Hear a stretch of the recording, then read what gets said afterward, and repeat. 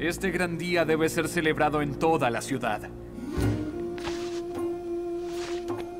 Será recordado como el día en que el monoteísmo venció a la idolatría. Te felicito por esta victoria, profeta de Dios Yosarsif.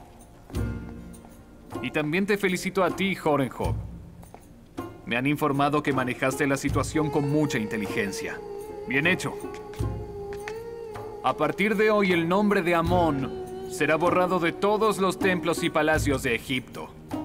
Y el nombre del único y verdadero Dios será grabado en su lugar.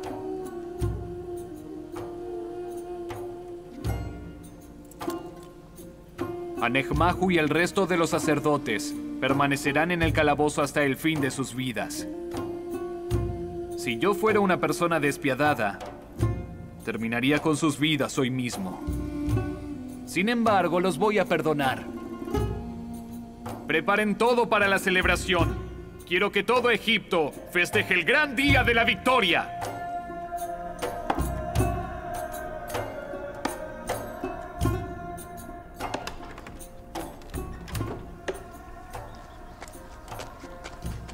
Tengo hambre, mamá. Quiero comer.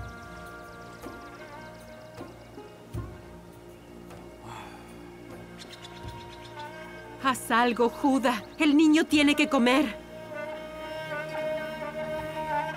Quedándote sentado no lograrás nada.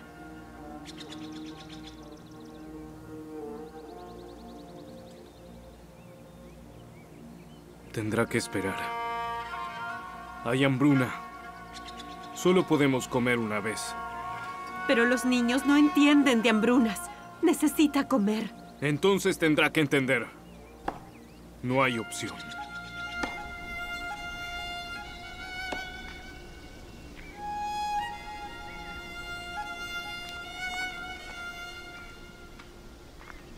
Hola, Levi.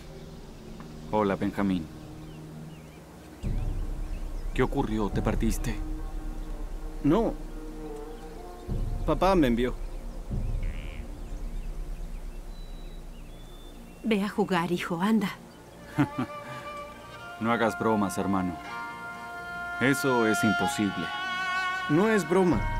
Quiere que todos ustedes vayan a verlo. ¿Él te dijo que vayamos a verlo? Así es. Hace años que papá no nos habla. ¿Qué habrá pasado? ¿Estás seguro de que te dijo que desea vernos a todos? Claro que sí. ¿Por qué habría de mentir? Los está esperando. Llamen a los demás. Niños, vengan. Vayan a buscar a sus tíos. Deprisa. Tal vez solo quiere volver a abrir la vieja herida de José. José no es una herida. Es un dolor. Es un dolor que ustedes le han causado.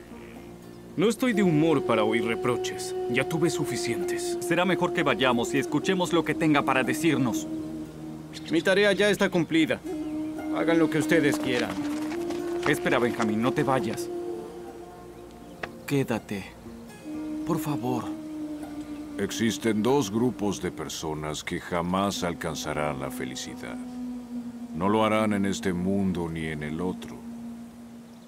¿Alguno de ustedes puede decirme cuáles son esos dos grupos de personas? ¿Puedo responder, abuelo? Adelante. Son las personas que no respetan a sus familiares y les causan dolor. Excelente respuesta. ¿Quién es tu padre, niño? Mi padre es Levi, abuelo. Ah, entonces eres Coat. Excelente respuesta, hijo. Ahora, ¿cuál es el otro grupo que jamás alcanzará la felicidad? ¿Alguien sabe la respuesta? ¿Puedo responder, abuelo? Yo sé quién eres, hijo. Tú eres Eshmil, el hijo de Benjamín. Puedes hablar. Las personas que no respetan a los mayores. Excelente respuesta. Aquellas personas que no respetan a las que saben más que ellas, ni a las que poseen más fe en Dios que ellas, ni a las que son mayores, nunca lograrán alcanzar la felicidad. Yo temo por aquellos que no respetan a su profeta, a su propio padre. Que Dios los perdone. Hola, padre. Hola, padre. Saludos, profeta de Dios. Saludos, profeta de Dios. Hola, padre. Saludos, profeta de Dios.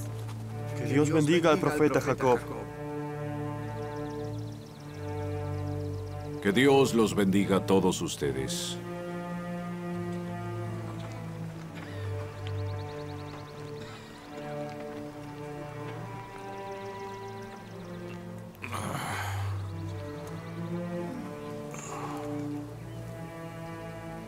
¿Vinieron todos? Sí, padre. Estamos transitando tiempos de hambruna. Y a pesar de todo, yo mantengo las esperanzas. Aunque es difícil mantenerlas en un grupo de haraganes como ustedes. Estamos muriendo de hambre. Y a ellos no les importa. ¿Qué pasa con ustedes? ¿Hasta cuándo se quedarán sentados sin hacer nada?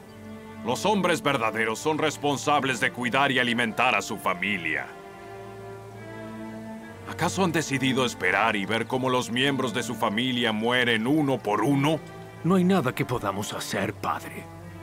Si los hombres no pueden hacer nada, ¿qué podemos hacer nosotras? Hagan algo, lo que sea. Porque si no lo hacen, morirán. Pero padre, cada uno de los pueblos cercanos está sufriendo la hambruna. No podemos pedir ayuda. Melija el mercader me ha dicho que la situación en Egipto es completamente diferente. Su gobernante ha logrado almacenar una gran cantidad de trigo. Reúnan todas las monedas que tengan y vayan a Egipto. Tal vez puedan hacer algo para salvar a sus esposas y a sus hijos. Jamás van a resolver este problema quedándose sentados y lamentándose.